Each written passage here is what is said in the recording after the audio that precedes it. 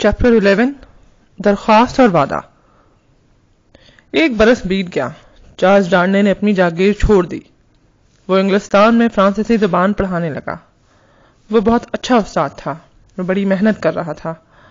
इसीलिए जल्द ही खूब जाना पहचाना जाने लगा। मुकदमे के बाद डार्ने डॉक्टर माने और लूसी का गहरा दोस्त बन गया था। सिडनी कार्टन और स्ट्रेविट भी अक्सर डॉक्टर माने के यहाँ आते थे। डॉक्टर माने और इसी की बेटी लूसी का घर छोटा, मगर बहुत उम्दा था। मुकदमे के बाद डालने को लूसी से मोहब्बत हो गई थी। लूसी की आवाज़, इसके लिए दुनिया की सबसे शीरी आवाज़ बन गई। उसने ऐसा मेहरबान और खूबसूरत चेहरा पहले कभी नहीं देखा था, जैसा कि लूसी माने का था। इसने एक दिन फैसला किया कि वो अपनी मोहब्बत के बारे में डॉक्टर माने से गुफ्तगू करेगा। वो मौसम गर्मा की एक शाम ऐसे वक्त डॉक्टर माने से मुलाकात के लिए गया जब इसका ख्याल था कि लूसी घर पर नहीं होगी। डॉक्टर खिड़की के करीब कुर्सी पर बैठा एक किताब पढ़ रहा था। वो बिल आखिर अपनी ताकत बहाल करने में कामयाब हो गया था। अब वो अपने फैसले खुद करता और इस पर अमल भी करने लगा। ताहम कभी कभार वो बहुत मुस्तरब और बदमिजाज हो जाता। लेकिन वक्त के साथ ऐसे वाकयात कम होते जा रहे थे। डारने को नहीं था कि डॉक्टर माने को यह मालूम हो चुका है कि वो इसकी बेटी पर बहुत तवज्जो देता है। बहरहाल, कुछ देर के बाद डारने ने डॉक्टर माने को बताया कि वो इसकी बेटी लूसी को बेहद चाहता है। इसने डॉक्टर से कहा कि इसे ये बखूबी इल्म है कि वो और लूसी एक दूसरे से कितनी मोहब्बत और प्यार करते हैं। इसीलिए इसने अभी तक लूसी से इजहार मोहब्बत नहीं किया। डारने कहने लगा, मेरे मोहतरम डॉक्टर साहब मैं जानता हूँ कि आप और लूसी एक दूसरे से कितनी मोहब्बत करते हैं। मैंने अपनी मोहब्बत के इजहार में जितना इंतज़ार किया है, शायद ही कोई इतना इंतज़ार कर सकता हो। लेकिन मेरी बेपनाह मोहब्बत ने मुझे जबान बख्श दी है। तुम्हारी बात पर यकीन है, डॉक्टर माने ने उदास लहजे में कहा। मुझे पहले ही अंदाज़ा था कि तुम इससे बहुत मोहब्बत करते हो। डरने और डॉक्टर माने के उदास, डरने डॉक्टर माने के उदास लहजे से बहुत मुतासर हुआ। और कहने लगा, मैं लूसी को आपसे कभी दूर ना करूँगा। मगर मेरी ज़िंदगी के सबसे मसरूर दिन लूसी से मेरी शादी होगी और वो मेरी बीवी बन गई तो भी मैं आपको इससे दूर नहीं रखूँगा। मैं तो अभी सोच भी नहीं सकता कि वो कभी आपसे दूर हो। हम सब इकट्ठे रहेंगे। चंद लम्हों के तवकफ के बाद डाने ने अपनी बात जारी रखी। मैंने फ्रांस को ही आपकी तरह छोड़ दिया है, क्योंकि अब वो एक सोगवार मुल्क है और लोगों के दिलों में कोई उम्मीद बाकी नहीं रही। मैं यहाँ मेहनत करने और ताबनाक मुस्तबिल के लिए जदोजहद करने आया हूँ। मैं आपकी ख्वाहिशों में शरीक होना चाहता हूँ। मैं आपकी ज़िंदगी और घर में हिस्सेदार बनना चाहता हूँ। मैं सारी उम्र आपका वफादार रहूँगा। मैं, आप और लूसी एक दूसरे के बहुत करीब हो जाएँगे। डॉक्टर माँ ने अपनी कुर्सी के बाजुओं पर अपने हाथ रखे खामोशी से सुनता रहा। वह बहुत फिक्रमंद दिखाई दे रहा था, जैसे वो किसी बहुत ही खौफजदा कर देने वाली चीज़ के बारे में सोच रहा हो। फिर इसने कहा, तुमने एक आदमी की तरह बात की डालने। मैं तुम्हारे जज्बात को महसूस करता हूँ और इनके लिए शुक्रगुजार हूँ। अब मैं तुम्हें अपने जज्बात से आगाह करता हूँ। मुझे यकीन है कि तुम मेरी बेटी से मोहब्बत करते हो और इससे शादी करना चाहते हो। मैं इस पर भी यकीन करता हूँ तुम सबको इकट्ठा रखना चाहते हो। अगर मेरी बेटी ने मुझे बताया कि वो तुमसे मोहब्बत करती है तो मैं इसकी शादी तुमसे कर दूँगा। मैं वो तमाम इसबाब और खौफ भुला दूँगा, जो उस आदमी के खिलाफ हैं, जिससे वो मोहब्बत करती है। वो मेरे लिए सब कुछ है। जो कुछ मेरे साथ हुआ, वो मेरे नज़दीक इन सारी तकलीफों से भी ज़्यादा अहम है। वो अचानक खामोश हो गया। इसके चेहरे का तासुर बहुत अनोखा था। चंद लम्हों के बाद डांडे ने कहा आपने मुझे दिल की बात बता दी। मैं भी आपको सच बताना चाहता हूँ। आप जानते हैं कि मैं अपना असली नाम इस्तेमाल नहीं करता। मैंने अपना नाम थोड़ी सी तरमीम के साथ बदल दिया है। मैं आपको असली नाम बताना खामोश रहा बूढ़े डॉक्टर ने इसे सख्ती से रोक दिया। डांडने ने कहा, मैं आपको अपना नाम बताना चाहता हूँ। अपना हकीकी नाम। मैं आपसे कोई बात नहीं छुपाना चाहता। चुप रहो। बूढ़े डॉक्टर माने ने इसे फिर टोका और अपने कानों पर यूँ हाथ रख लिए, जैसे वो यह नाम सुनना ही ना चाहता हो। फिर आहिस्ता से कहा, जब वक्त आएगा, मैं तुमसे पूछ लूँगा। हाँ अगर लूसी तुमसे मोहब्बत करती है तो जिस दिन तुम्हारी शादी से हो रही हो, इसकी सुबह मुझे अपना असली नाम बता देना। क्या तुम वादा करते हो? यकीनन जनाब, मैं वादा करता हूँ। अच्छा तो आओ, अब हाथ मिलाओ। डॉक्टर माने ने कहा। लूसी जल्द ही घर आने वाली है। ये अच्छा हुआ कि इसने हम दोनों को आज इकट्ठे नहीं देखा। अब तुम जाओ। खुदा तुम्हें खुश रखे। चैप्टर ट्वेल्व दर्द दिल। डॉक्टर माने के घर में आने वाले मेहमानों में सिडनी कार्टन एक ऐसा मेहमान था जो दिलचस्प और हनोल नहीं था। जब वो बोलता तो अच्छी गुफ्तगु करता, लेकिन वो अमूमन उदास रहता और महसूस होता था कि वो किसी की परवाह नहीं करता। ताहम वो मोहतात रहता था। इस इलाके में जहाँ डॉक्टर माने का घर था, वो शराब पीकर भी मोहतात रहता। यह अलग बात है कि वो कभी इस इलाके में खुशी महसूस ना कर सका। एक दिन वो एक इरादा करके डॉक्टर माने के घर गया। घर का मुलाजिम इसे ऊपरी, ऊपर लूसी के कमरे में ले गया, जहाँ वो अकेली कोई काम कर रही थी। वो सिडनी कार्टून को कभी ना समझ सकी। जब वो वहाँ आता तो वो कुछ अजीब सी बेचैनी महसूस करती।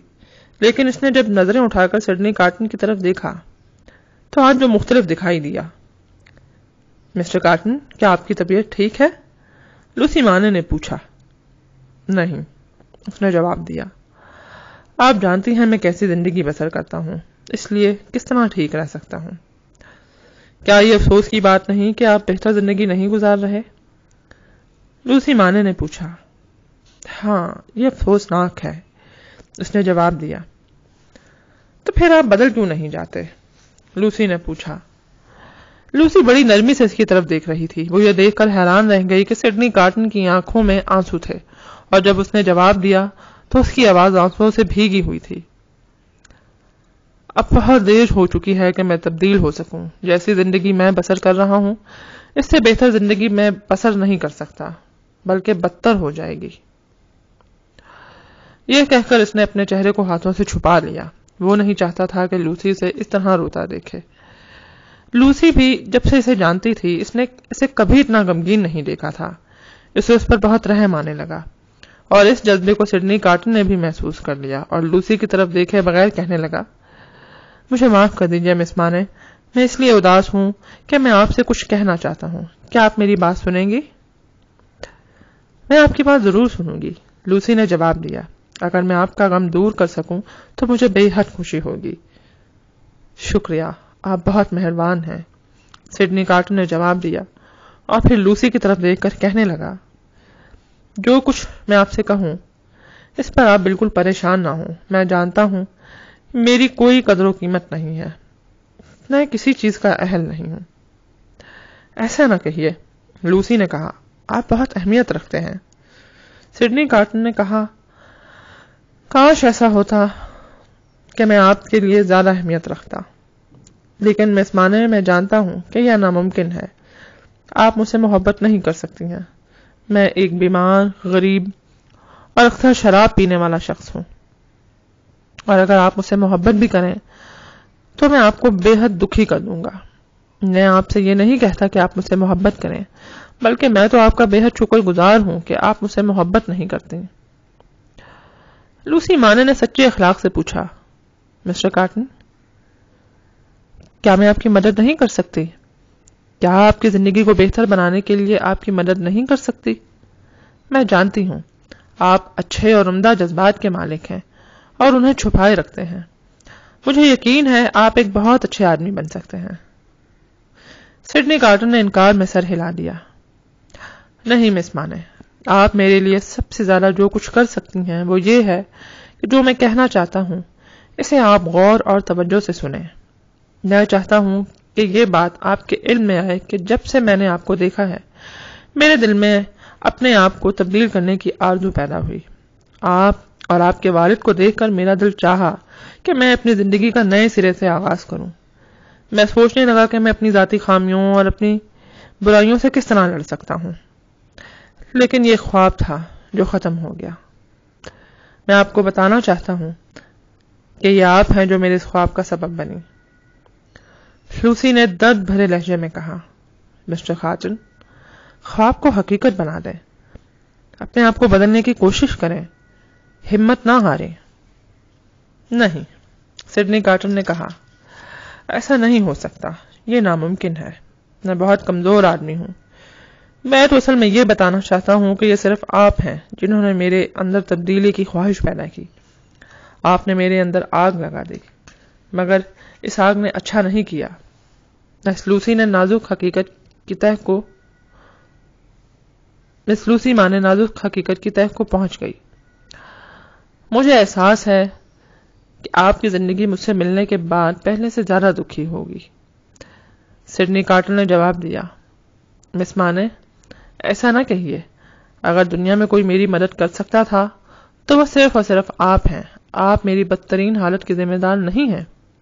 लूसी माना ने कहा, आपने अपने ख्यालात का इजहार मेरे साथ किया और मुझे बताया कि मैं किस हद तक आप पर असरअंदाज हुई हूँ। क्या मैं अपना ये असर, ये कुवत आपको एक अच्छा इंसान बनाने के लिए इस्तेमाल नहीं कर सकती? सिडनी कार्टर ने बड़े दर्दमंद लहजे में कहा मैं जानता हूँ कि इस वक्त मेरे लिए बेहतरीन चीज़ क्या है। मैं आपके साथ इस गुफ्तगु को हमेशा याद रखूँगा। मैं याद रखूँगा कि आप आखिरी शख्स थी जिससे मैंने जज्बात का इजहार किया। मैं हमेशा याद रखूँगा कि आप मेरे लिए दुखी हुई और आपने चाहा कि मैं अपने तौर तरीके बदल लूँ।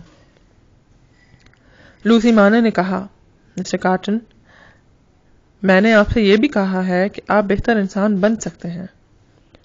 सिडनी कार्टन ने तेज़ी से जवाब दिया। आप इस बात को ना दोहराएँ।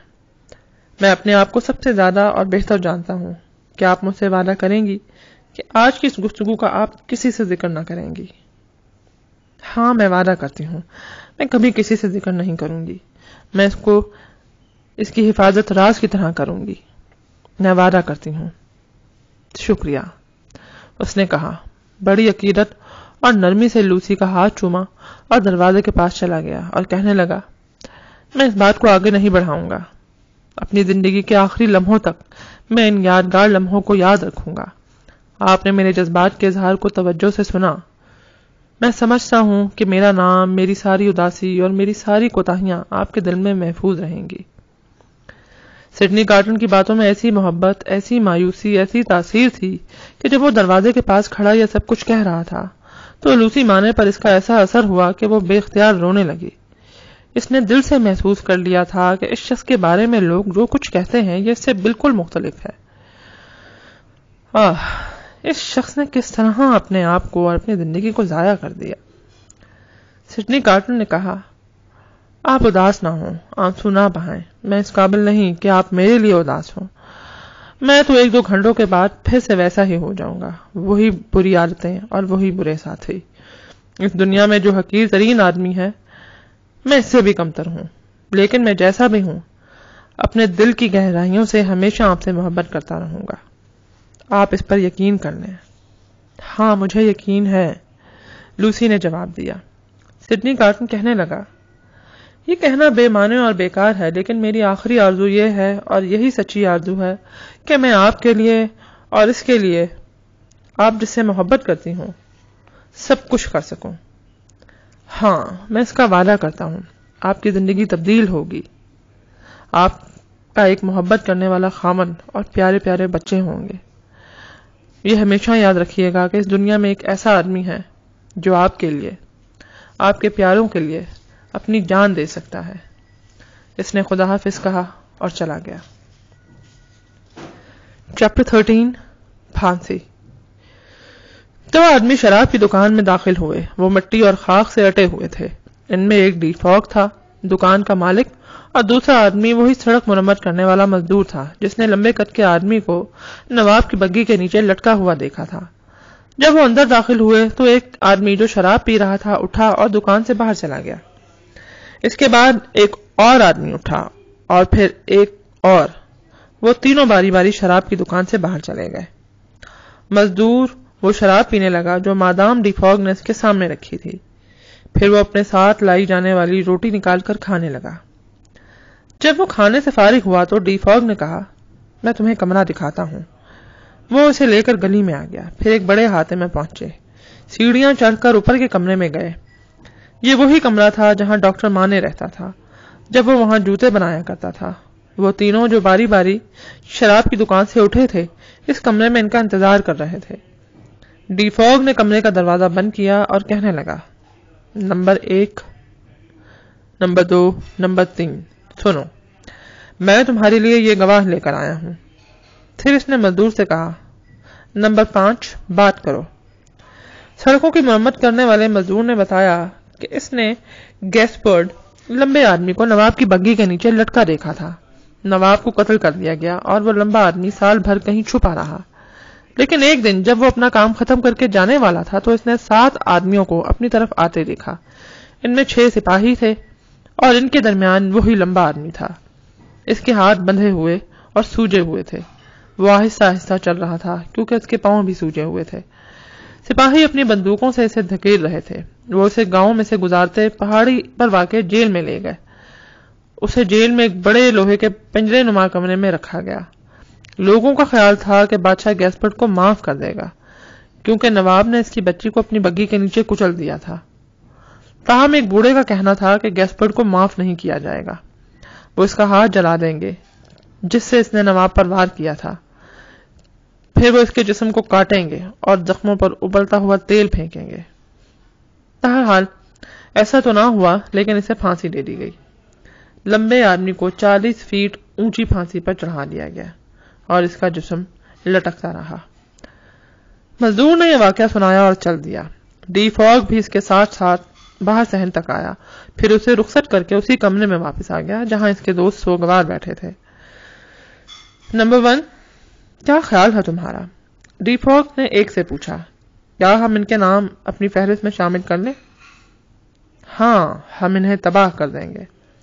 किला और सारा खानदान मलिया में कर दिया जाएगा। नंबर दो ने डी फॉक्स से कहा, हम जो फहरिस्त बना रहे हैं, इसकी भनक किसी को नहीं पड़नी चाहिए। वैसे मैं समझता हूँ कि फहरिस्त हर तरह से महफूज है और कोई दूसरा उसे समझ नहीं सकता। ताहम, क्या तुम्हारी बीवी से जबानी याद कर सकती है? डी फॉग ने जवाब दिया, मेरी बीवी इस फहरिस्त का लफ्ज लफ्ज महफूज कर लिया है। इसने अपने खास अंदाज में एक एक लफ्ज को अपनी सिलाइयों से बुनाई की है। वो अपनी सिलाई को आसानी से पढ़ सकती है। हर मुजिम, अमीर और इसके सिया कारनामों को वो अपनी बुनाई के ज़रिए महफूज कर चुकी है।